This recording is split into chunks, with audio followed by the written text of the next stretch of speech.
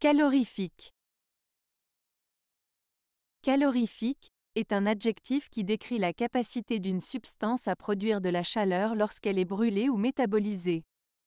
Il fait référence à l'énergie calorifique qui est libérée lorsque la substance est consommée ou transformée. Par exemple, les aliments que nous consommons ont une valeur calorique, qui est déterminée en mesurant la quantité d'énergie produite lorsqu'ils sont digérés et métabolisés. Plus un aliment est calorifique, plus il est riche en énergie et plus il est susceptible de contribuer à un gain de poids.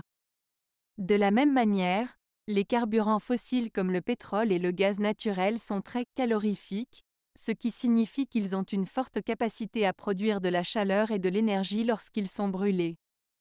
Cette propriété en fait des sources d'énergie importantes pour de nombreuses industries et applications, mais ils sont également responsables de la majorité des émissions de gaz à effet de serre dans le monde.